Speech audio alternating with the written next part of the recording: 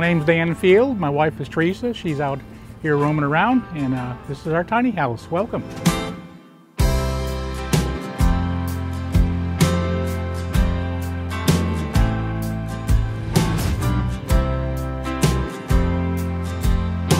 Coming in here through the front door, here's the front of our uh, V-nose cargo trailer. It's seven foot tall, 16 foot long to the back of the V here, and uh, eight feet wide.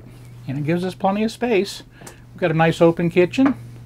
Uh, we've got a, a deep sink here and a 12 volt pump runs the faucet. We carry a 16 gallons of water underneath down here. That water gets transferred from the water in our van. We carry 150 gallons altogether, and we the whole goal of living this lifestyle is to have plenty of water. I don't want to. I'm a retired plumber, and water is everything to me. You draw things on paper, you put things on cardboard, trying to figure out where where your your floor plans going to be. And for me, uh, my wife wanted lots of window space around her kitchen, and it seems to open up well. So we decided on putting the kitchen in the front. Everybody's got their own ideas, and what works good for them is wonderful. But this, for us, limited space with 16 feet, got place for cabinets, lots of windows, and, uh, storage down here. If I could find a better way it works for us, I'd do it. The main thing with building these cargoes in mind is number one, uh, nothing's has to be permanent. You're building it yourself, so if something works for a year or doesn't work, you change it over and you put it somewhere else. Uh, everything is built simple in this home. It's not built in for life. It's uh, but as of two and a half years on the road, this has worked wonderful. Cabinets, uh, overhead cabinets, we put light storage in there, our dry goods. Uh, main thing is as you're abusing these houses, you don't want anything to fall off the wall. They are anchored to the steel framing and they are solid wood cabinets. There's some competitive stuff out there that's press board and will work for some people, but we wanted to go off grid, back in the mountains, bad roads, and I felt these worked better for us. I was always concerned if I needed to put some posts underneath them or something, but they're doing well. They're anchored, anchored right to the studs, and it's got a good solid wood backing in them. Spice racks over here. This could, works well for my wife. These are just some small, tiny cabinets we had in our house years ago, and I thought, should I get rid of them? No, they work good for spices. Keep everything contained in there. We got little latches. These latches work good for anytime you're moving down the road, very important to latch things up. Berkey water system, we, we treat our water with the Berkey filters. Again, we've got latch rings with just little uh, cords that snap and hold those in. The mugs actually stay up there. They're, they've got little latches and they don't bump anything. As we move down these crazy roads, everything pretty much stays in place. It's amazing. Just got a little lip here so the cans don't slide out. Just got some simple plywood with hooks up there for the metal utensils and more dry goods for storage over here. This home was partially a custom built through the builder uh, back in uh, Georgia. We spec'd out the windows and uh, I said they, they do it for a living, they can do it better than I can, a lot less time. There's certain things that are, you weigh them out, you know, should I do this, should I do that? And I felt that's what they do for a living, so that's where we ended up having them do all the windows here. And uh, they cut a hole in the roof and, and uh, different things, but uh, it worked out well. Due to limited space, you want to be able to put things back away. Uh, the stove, of course, it's an outdoor camping stove. We fold it up. It's on uh, uh drawer slides here, and uh, it slides right back in flush. Comes in very convenient, so we have more storage over to the side. And uh, we also have a, a, toaster oven with a rotisserie. We like rotisserie meats, and toast things and bake things, and also a microwave that runs off our generator when I need it. We have a, a limited battery supply. Uh, we didn't spend a lot of money, but it, it, keeps up with what we need here for lights and refrigerator and stuff. We're very happy with this setup. I, I don't see us changing anything. We're looking to, to put an inside shower. Going to be probably in this area. We'll probably slide the chair up and back. Uh, looking at a, a foldable uh, dog wash, 32 inches just uh, hard plastic with a drain going through and we'll tie that in and uh, I've got a, a, shower valve back here so we'll drop a shower curtain down here and uh, be able to take a shower right from here.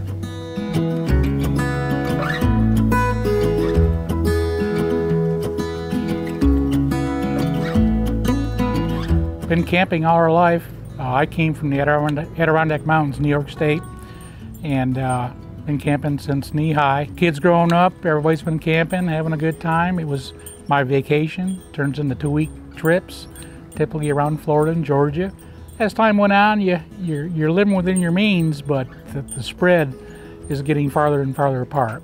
It's obviously in any, any business, uh, the companies are pushing it harder, the money's going less farther, and uh, I eventually burned out. I knew I was going to burn out. I've been praying for a change of life. Uh, work-wise, I loved my job, but it was burning me out. Uh, older man doing a young man's job in service work. Uh, eventually, I had a, a massive heart attack. That's what changed everything. Praise God, recovered from that. Uh, very good afterwards, but I couldn't do my work that I used to do. So, page two, uh, what's next in our life? Where I'm recovering at my home, going, I've got too much land to take care of, too much house to take care of, another season in my life. And boom, I, I start finding YouTube and the RVers, living this lifestyle, nomad life, full-time RVing, sell your house and go. And and I praise my Savior Jesus Christ. He gave me the faith, the, the no fear to do this living. Um, I'm my past life. I build something up. You stay there. You work hard and you don't move. This life is totally opposite. You never really know where you're going till you get there. It's just a wonderful life. Nothing to hold you back. You turn the key and you go. We're over here to our living space now. Uh, this is our community chair. It's a swivel rocker recliner. Uh, I spend too much time in this. It's very comfortable. It's also my bed. Typical uh, uh technicians that have back problems over the years, uh, this has worked very well for me, uh, even back in the sticks and bricks. And uh, over here is a refrigerator, 120 volt fridge. It's actually a freezer, deep freeze. We use it as a refrigerator. Um, the trick to this is we unplug it. Uh, run it for half hour, 45 minutes, draws about 120 watts, and uh, works well with our system. But I've got an indoor outdoor uh, thermometer so I can look at the thermometer, check the temperature, and we tip, keep it typically 35, 40 degrees. Works well. Uh, keep our meats down on the bottom. Over here, this is Mama's uh, bathroom over here. For all the people are interested, how do you go? This is what works for us. That's just a handicap potty chair. It's uh, got a bucket underneath it. We take care of business as needed and uh, works well, uh, especially with people with uh, service industry. She's got a bad back too, so uh, it's got it raised up real high and she's very comfortable with that and uh, it's nice not having waste tanks. I understand how to make a composting toilet and that's uh, probably the next thing on the list. The biggest concern we're looking at is where to put it. Haven't made that decision yet, but compost is the next step up and, and we're, we're very interested in that. Coming to the back of the house here, um, here's a, an old antique desk that's been in the family for years. Got to keep something from the old old family, and that's it. It's worked well for us. We keep our business in there. Uh, one thing about this lifestyle is the, the more organized you can be, the, the, easier it is on you. We got some bills in there and some paperwork and tax and tags and all that, and that works good. Over here is some, some cabinets I built, just three-quarter inch plywood and some paneling doors. My main concern was space, and if I open doors, are the dogs going to rip them off and whatnot? We have big dogs. So sliding doors works well. Keeps our medicine. There are basically a lot of bathroom stuff in there. A lot of towels and uh, blankets in the bigger cabinets down here. They work real well for that. This started out to be just our clothes, his and hers, in this cabinet. It's a it's a store-bought cabinet, a metal one, and uh, we uh, decided after a, a couple years of lots of wrinkles, not enough space, I went to these solid wood cabinets over here uh, just like the ones up in the kitchen. Solid wood, front and back, anchored to the steel frame, very important. And uh, they're not heavy, there's just my clothes in there. That's worked well. And uh, over here we've got a, a, a, bed. My original bed ideas was be able to flip it up and have wide open space. That was the whole goal of this house. Uh, it still will flip up, it's on hinges, but we decided to put this in for extra cabinetry. I can get it up three quarters of the way, get to my storage underneath it. That works well. got a lot of seasonal things in there and, and, and tools and whatnot, but uh, that's worked well for us too. Uh, when I had this custom designed, I wanted the ramp door. It folds down. So uh, when the cabinet was up there, the TV used to be over there. Well, again, things change as you, as you build. Nothing's there forever. So the TV easily mounts on this back door. And if we're, uh, for example, we're at the north rim of the Grand Canyon, BLM camping, nobody around for 30 miles, uh, we flip the back door down, and that was our, our view over the canyon. Wonderful time there. Anytime we get a special view, the back door goes down, and there's a 7 by 8 foot, 56 square feet of, of uh, porch. Uh, when you have 200 pound dogs, it's it's like having another room. And you, you lay in bed and you watch the sunrise or the sunset. It really is nice. This light interfered with my wife a lot of times, so I disconnected it. I'm going to put a toggle switch here just to turn this on and off as needed. And over here is the fantastic fan. These things are fantastic. They come with a thermostat if you want. They have all different options. This one is, is a three-speed, reversible, and it's nice uh, when this air gets stagnant or she's cooking to turn on high. It's 12 volt, takes very little power. And we crack a window or a door and it sucks everything right out, humidity and smoke. And uh, works well. I highly recommend it for anybody living this lifestyle. For insulation in these, uh, I'm going to say there's never enough, just like your, your sticks and bricks. They come standard, I think it's one inch insulation. It's a one inch steel frame wall. So there's one inch uh, foam insulation in it. And it, it, it does as good as any other RV in whatever season you're in. The whole idea of nomad life is if it starts getting too hot, you go up in elevation. That's that's our goal to be able to have the transportation to get us up to higher elevation. If it's uh, the seasons change, for instance, we're in Laramie, Wyoming, and we knew it was going to snow in a week or two, and it did, four inches or so. We weren't concerned, but we knew the season was changing, and uh, so we started mapping out our course to head south, get warmer again, and uh, just a matter of a few hundred miles, and, and uh, worked out well. We we like more windows. Windows are uh, important to see out. I, th I, think the more the merrier. Uh, don't worry about the heat. Don't worry about the cold. It's it's good for the soul to see outside, and you don't have this cooped up feeling.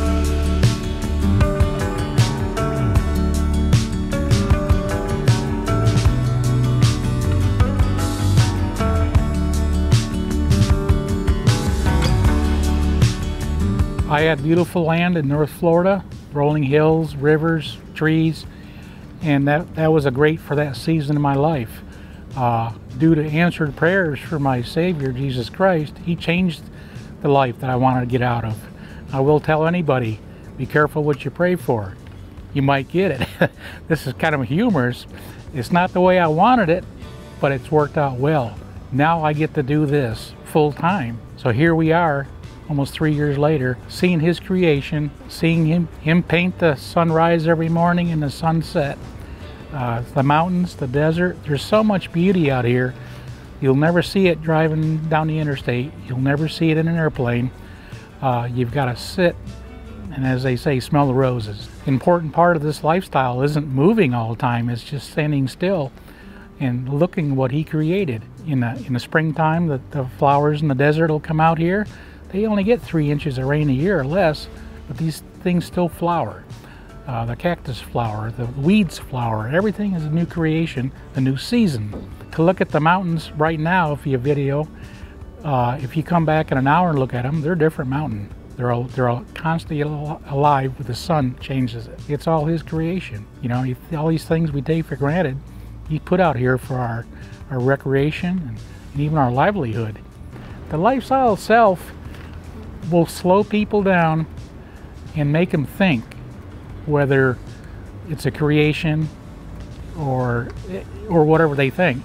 It, it slows their mind down and, and makes them realize where they are at the moment. It's not always about the work. It's not always about the banking account. It's not always about the mortgage. It's about breathing right now. And we're back in the back side of the van here. This is the back of the mule, we call it. And uh, We've got a, a hot water system, propane, and uh, we just mount our shower head up here and fire it up. The igniter runs off a battery. Uh, just a uh, D-cell battery makes it very simple. You don't have to run power to it. Propane going to it. Water coming from our, our water system here. I've got a, a, simple 12 volt pump wired into this little box here. I've got three tanks. I can carry 150 gallons, 50 gallons each. Water is just like gasoline in a vehicle. I mean, the harder you push it, the quicker it goes away. Uh, we, we've been out two weeks, no problem, without water being in sight anywhere. Um, showers, you limit your showers, you limit your wastage. Uh, we all use a minimum amount, of, and I can't tell you the gallons. I've never figured it out, but a lot of motorhomes only have 100 gallons or less. And, and uh, we've been blessed with this system. It's worked very well for us. Uh, again, water is very important. You learn to conserve. We've got a curtain, we've got some clamps here. We just use these little mini clamps, clamps on our doors. And uh, we, we just put a, it's a, a five by seven tarp, not a big investment. And uh, I've, I've, actually recycled some uh, pa packing material. That's our shower floor. And that floor keeps your feet good. We'll, we'll use uh, uh, water shoes a lot of times. Uh, that helps a lot. But the rocks are hard on your feet, so we use we're just insulation.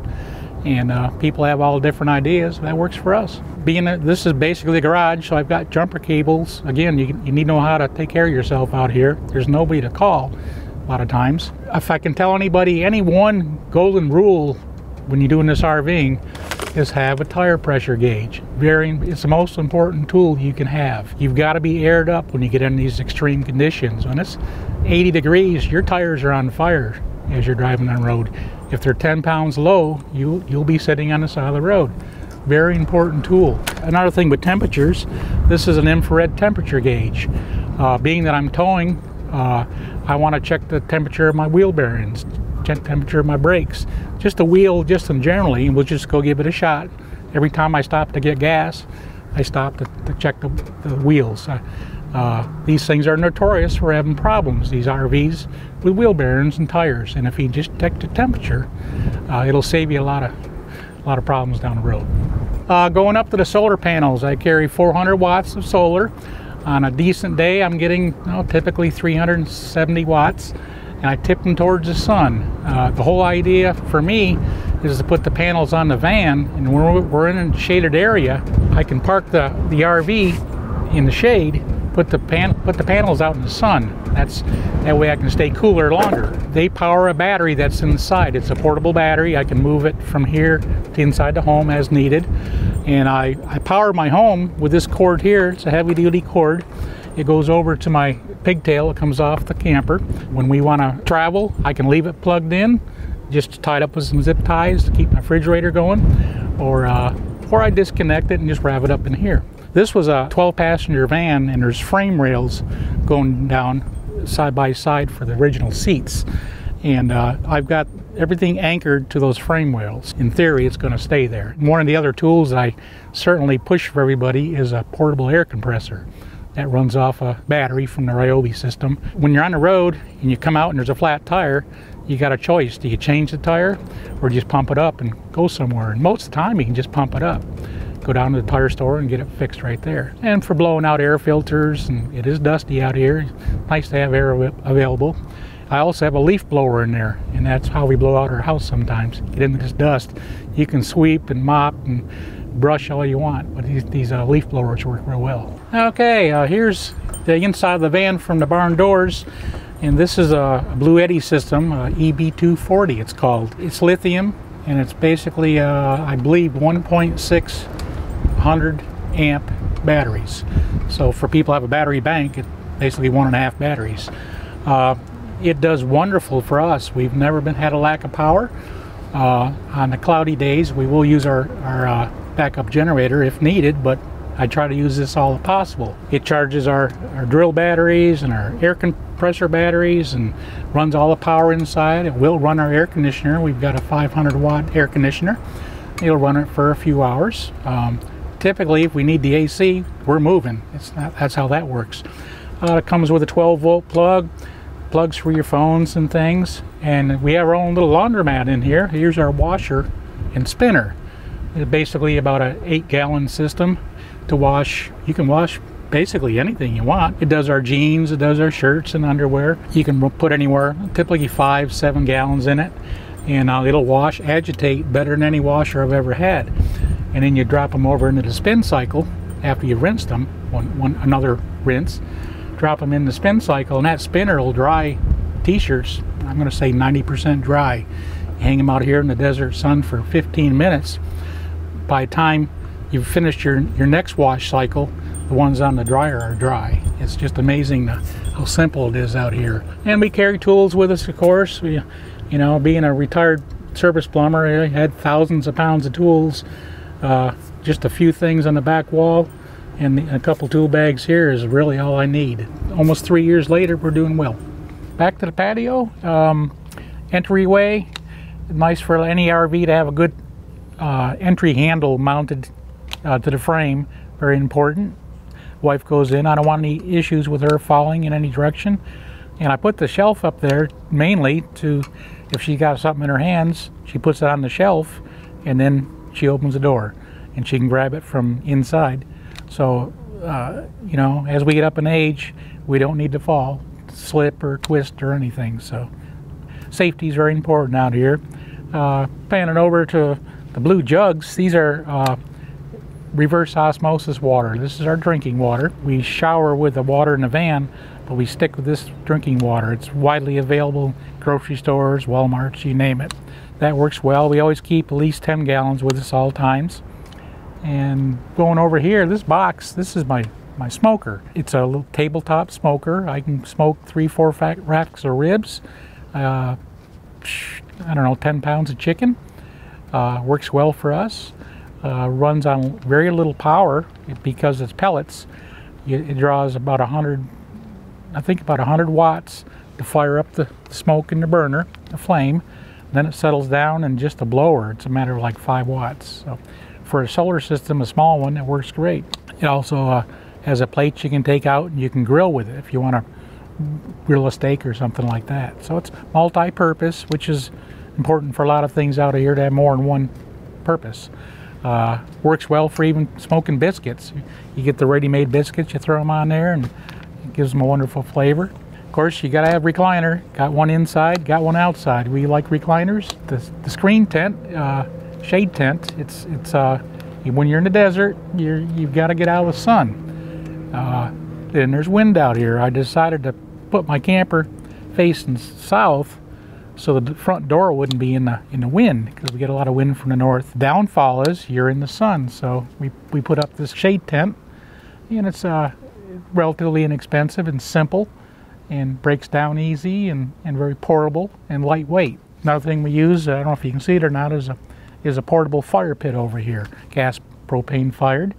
Works nice for the cold nights. Get we'll get together a few people. Campfires are nice out here for for gatherings out here in the BLM land, you don't burn the wood, you, you leave it for all the critters, just like it is. For the backup, the, the propane works wonderful. Uh, the whole goal, again, is to be outside. Uh, just, just different air, different scenery is so much better for your soul. Uh, when you're stuck inside, uh, for some people, me, I'm good, but for some people, it, the walls close in, uh, your attitudes change, and, and being out in this lifestyle is what we're here for going for walks, whether it be, you know, 100 yards or 50 miles. It's, it's up to you. Coming from North Florida, I had beautiful acreage, but as, the, as my house walls started closing in, I didn't even use my land anymore. Uh, out here, God gave me a, a new place to, to adventure, and every time you go out, you see something different. We also have the electric bikes, and uh, we get on them, we'll go for two, three hours for a ride. The time goes so fast. You're like, oh, it's five o'clock. Oh, the sun's going down. You just lose track of time. You lose track of days. And for me, I'm losing track of weeks and months. And uh, it's a good thing. Praise God.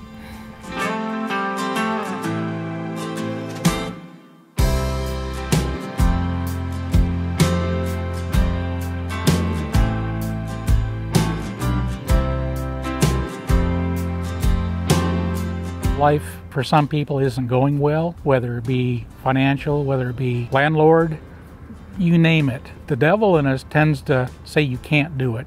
And that's that word that I don't use. You can do it. What do you have to lose, especially if you're struggling now? There's so many people, especially the younger generation, has this technology available to make a living out here.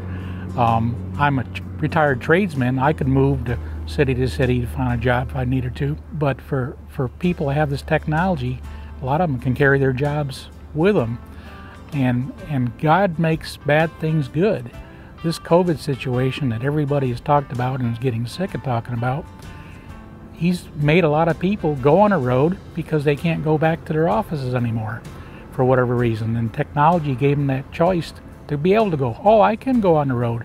I can go four states away. I can go, I can go out of the country. There's, there's no limits with this technology. Like anything new, you know, you've got some shakes and, and shivers. Einstein said, if you keep doing things over and over again and expect a different uh, outcome, that's insanity. You've got to make a change. What what was working at one time doesn't work anymore. You've got to be able to make that change and, and go bold.